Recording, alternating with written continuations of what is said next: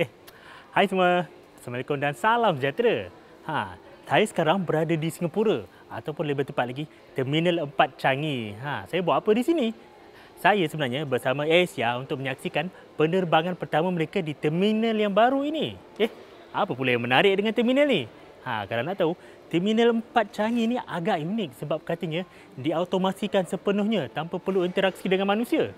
Betul ke tu? Ha, jadi jom ikut jelajah saya melihat sekeliling Terminal 4 Changi ini.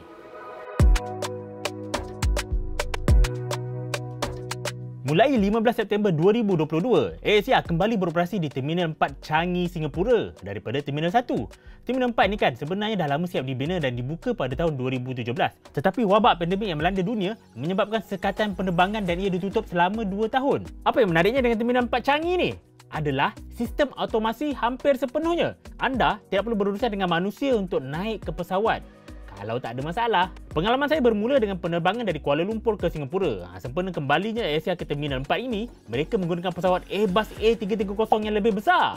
Kalau waktu biasa, guna pesawat A320 sahaja. Apabila mendarat, perjalanan bermula ke kaunter immigration. Wah, agak jauh juga berjalan kaki kerana pesawat mendarat di pintu paling hujung. Tetapi saya terkejut kerana masih perlu beratur di kaunter immigration. Kata dah otomasi sepenuhnya. Malah kan, kad ketibaan juga telah diisi lebih awal menerusi laman web rasmi Immigration Singapura. Tapi di sini masih perlu jumpa pegawai Immigration. Di kaunter itu kan, pegawai memeriksa pasport saya. Ha, lepas tu, cap jari serta wajah saya diimbas. Dan barulah pasport dipulangkan. Agak pelik kerana tiada cop pada pasport saya. Wah, nampaknya telah berubah ke sistem digital. Ambil bagasi bukan perkara barulah. Ha, memang tak perlukan kaki tangan atau pegawai untuk membantu. Hanya semak skrin untuk tahu ia di bahagian mana kan. Ha, Seterusnya, kami dibawa ke Majlis Pengumuman ASIA kembali ke Terminal 4. Tapi saya tak mau cerita panjang lah pasal ni. Tamatnya Majlis ASIA ini, kami dibawa melawat ke seluruh Terminal 4 dan diterangkan tentang apa yang menarik dan canggih di sini. Hmm. Terminal 4 ni memiliki saiz 1 per 3 sahaja daripada Terminal 3. Tapi, ia boleh menguruskan 2 per 3 kapasiti Terminal 3. Wah, lebih efisien kan sebab ada dua konsep pertama ditekankan tentang pembinaan Terminal 4 ini iaitu pertama layan diri dan yang kedua rekaan yang luas tapi dekat. Di sini masih ada kaunter manual dengan pegawai menguruskan tapi kaunter ini direka agar ia boleh dicabut atau digantikan dengan mudah. Malah, tempat letak bagasi juga sangat rendah supaya tidak perlu angkat bagasi yang berat untuk daftar masuk. Suasana Terminal 4 ini juga sangat tenang dan mendamaikan. Ia direka dengan siling yang sangat tinggi supaya tidak terasa sempit. Kaca juga digunakan sebagai dinding dengan reka strategik untuk memastikan cahaya matahari masuk ke dalam dan tidak perlu menggunakan lampu sekaligus menjimatkan elektrik.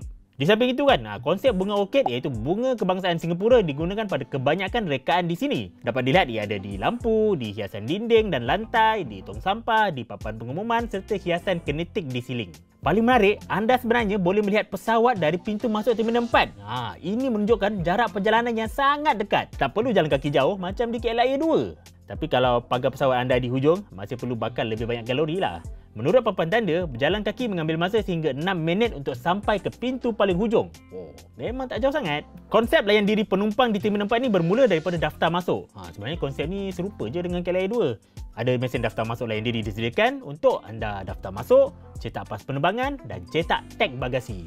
Untuk Asia, anda juga boleh daftar masuk menerusi aplikasi AirAsia Super App. Tapi cetak pas dan tag boleh dilakukan di mesin ini. Hanya masukkan nombor tempahan dan imbas pasport. Nah, pas dan tag akan dicetak. Seterusnya pada daftar masuk bagasi, ada juga kaunter lain yang disediakan. Caranya hampir serupa dengan mesin tadi. Imbas pas masuk dan letakkan bagasi yang telah ditampal tag bagasi padanya. Bagasi akan ditimbang dan diimbas secara 3D. Ha. Jika sepadan dengan maklumat dalam sistem, bagasi akan ditarik masuk. Semasa mencuba sistem lain diri ini, rakan saya Alex berhadapan masalah.